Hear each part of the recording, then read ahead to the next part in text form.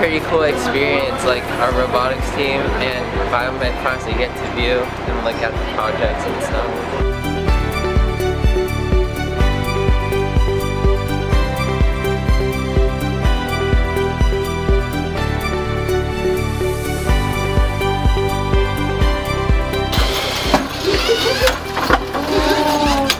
So we participate in the robotics levels that are middle and high school, which are these smaller robots, and then we participate in the high school level, which are these robots.